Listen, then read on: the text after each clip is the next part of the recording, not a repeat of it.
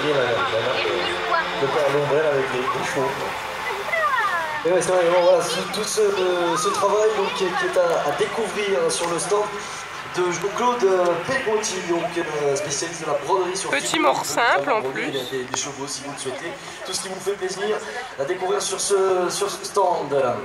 Je vais vous parler aussi des, des glaces, hein, le glacier, la glace artisanale, le péché mignon. Bonjour monsieur.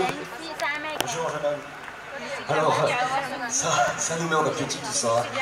C'est vrai qu'on voit passer partout vos glaces. Euh, il a 100 points. Bah, on là.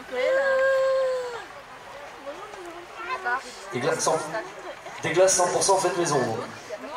Glace artisanale.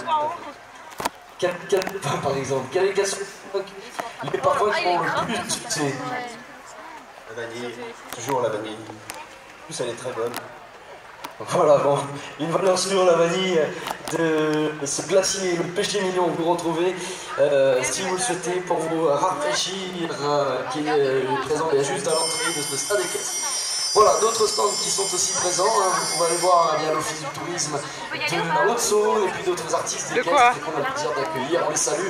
Désolé parce que ça vient de, de, sonner pour la reconnaissance, pour la découverte du parcours. Il est 13h45 très précisément, mesdames et messieurs, et on est à une demi-heure maintenant, 30 minutes du coup d'envoi.